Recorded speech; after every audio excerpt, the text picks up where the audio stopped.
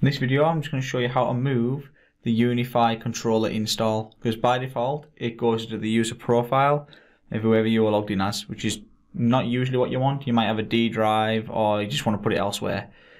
Um, so what we'll do, we'll just go through how to do that. So first thing you want to do is if you're running it as a program and not as a service, you want to basically close this window to kill the UniFi controller. And then you want to go navigate to C users, then whichever account it was you were logged in as during the install. In my case, it's administrator. And you'll find the Ubiquiti UniFi folder.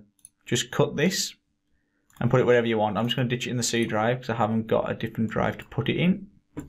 Then the only other thing you'll need to do is repoint this UniFi folder, uh, sorry, shortcut. So we want this pointing at C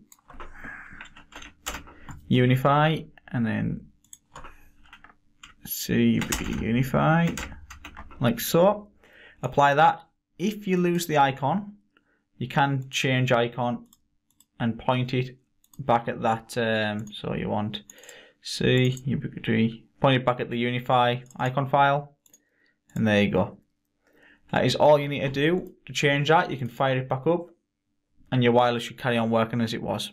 If, however, you've converted your UniFi install to a service, the only difference there, where we uh, closed this earlier on, you just need to open up your services and then you want to scroll down until you find the UniFi controller.